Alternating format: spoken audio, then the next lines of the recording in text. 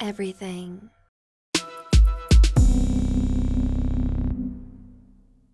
Hey guys, we are back in. Turn the fan on. Uh, we are back in uh, Code Codecademy. We're doing uh, the Sass mixins and the at selector. So let's go ahead and get started. Mixins are kind of like CSS style classes that you'll be uh, that you'll use.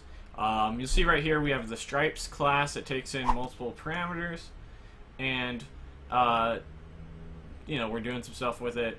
Uh, sets the background, which a whole other parameters. But anyhow, let's go ahead and uh, get started. In the main SCSS inside of NoteCard, nest and invoke the following at selector. So let's go ahead and find NoteCard. So here's our note NoteCard. We want to nest within it, saying, look, when someone's hovering, we want to include the transform, which I believe is this mixin right here. Where I lost my spot. Transform, and we're going to pass in a parameter here. We're going to pass in rotate negative 180 degrees. Let's go ahead and run that.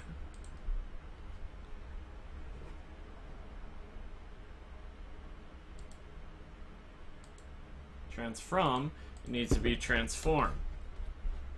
Let's go and run that. Pretty cool. And you see that it's flipping now because of it, 180 degrees.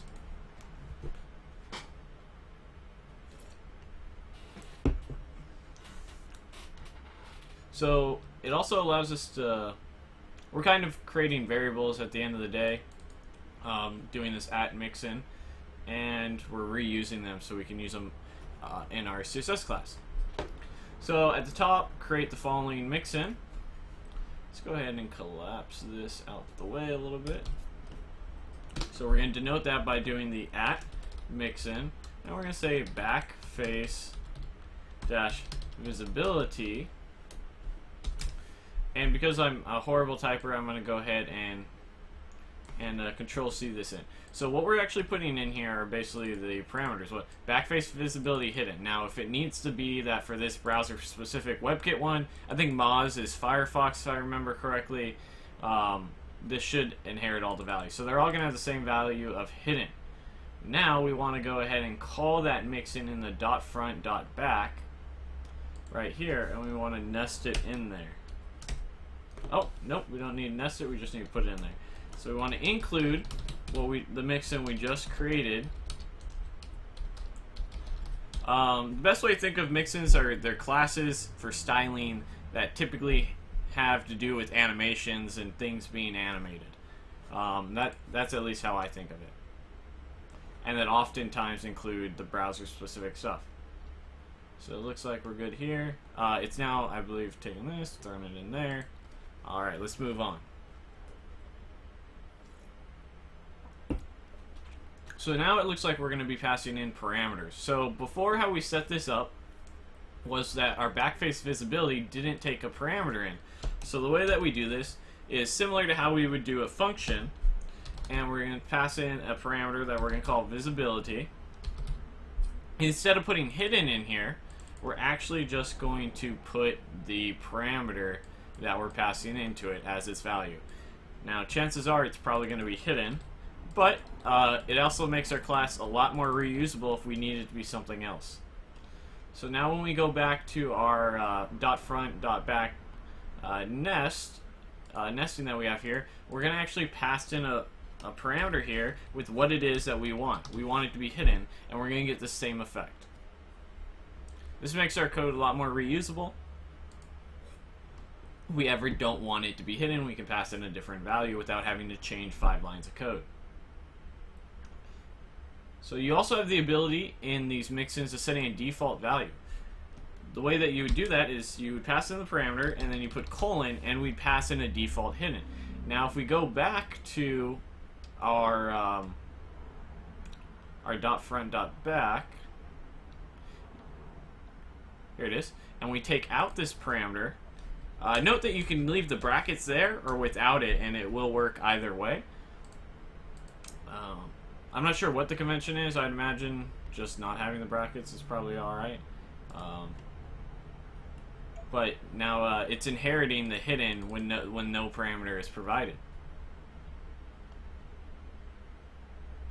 So, a couple more examples here. Alright, so in the main CSS and dots back selector, we're going to go ahead and include the following. Let's go ahead and find dot back. There we are.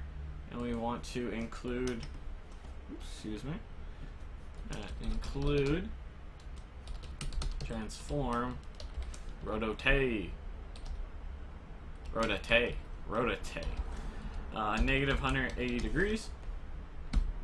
And we're going to run that. Pretty cool. In addition to flipping the back, we also want to make sure that the note card preserves a 3D effect. So notice along the edges, uh, there's kind of a little shadow um, before we hover over anything. And we want to make sure that that shadow uh, flips accordingly and everything looks 3D. And uh, we're trying to make pass in a 3D effect. So we're going to add the following mix in transform style and with the parameter style. Again, because I'm uh, a little chubby fingered, I have issues. Chubby fingered is probably the wrong word. I'm just unskilled with my hands. it's probably more realistic. So instead of actually typing all this out, we're going to go ahead and copy and paste this in here. They all do the same thing. They're all transforming the style with a parameter, but these are for browser-specific models. Typically, most of these you don't need in the new versions of browsers. It's really just for the uh, antiquated and outdated browsers that are uh, that might need this for old versions of IE or whatever. Um, so inside the note card, we're going to actually go ahead and call that. So let's go find note card. Uh, here's note card, and go ahead and put it right here. And right here, we want to add include transform dash style, and we want to. Actually, we don't need brackets there. Excuse me. And we want to include preserve dash 3D. Just gotta run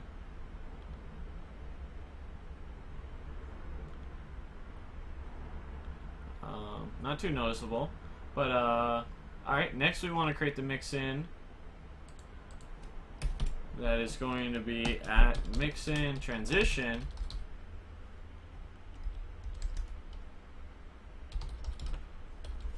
and we're going to pass in the parameter that we call time.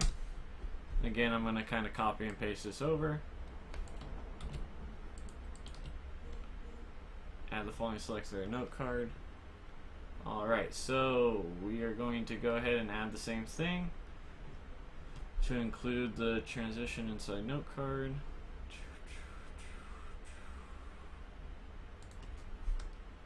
probably best to actually include all this stuff that we did um, in order. It'll probably more more. It'll be easier to to see. So we're gonna include the transition, and we're gonna. Uh, I'm gonna put first put four seconds. So or we'll put two seconds so you can kind of see what it is doing. It might be a little too quick to see otherwise.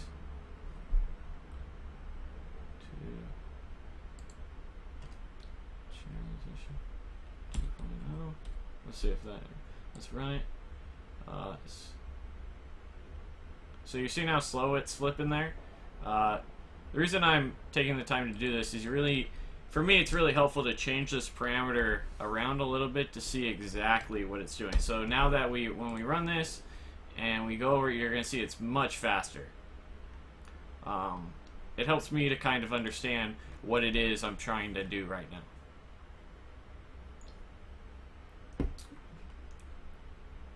You also have the option of putting in multiple arguments and setting default values and things of that nature. Uh, according to this, after we pass in our first parameter, we can use the dot dot dot notation to just go ahead and inherit the rest as as we as we want. So we're going to make a new list variable here. at the top. So we're gonna do dot stripe dash properties, and we're gonna say to bottom 15 percent, and we're also gonna say blue comma white. So those are our stripe properties. Now inside the stripes mixin, let's go and find that right here. Inside of the, including the stripes mixin inside of the definition selector, dot definition. So let's go and find that. Here we are. We want to include, at include stripes Cool. All right, so what's going on here is we created a variable that's storing several properties now. Now, all we have to do to save us a little bit of time is we're going to say stripe dash properties dot dot dot. So basically inherit the inherit the properties and it's going to separate it by the commas. Everything should work accordingly. Very nice.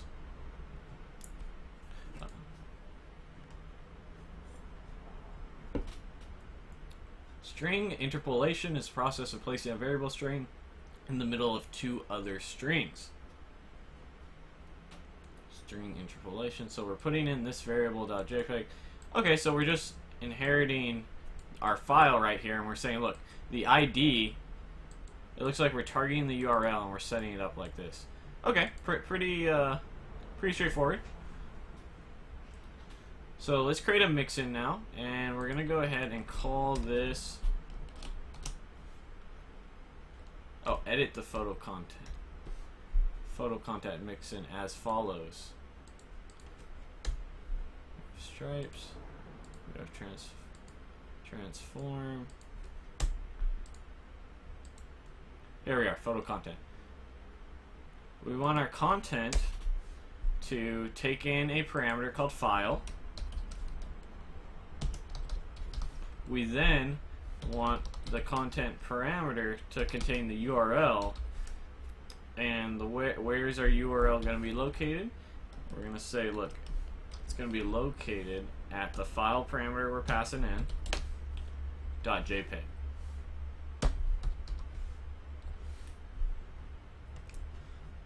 so now when we go to the photo CSS right here when we pass in our include photo dash content, we're going to pass in a parameter. So uh, in this case, it'll be Titan OSOR, and it's going to go find that for us.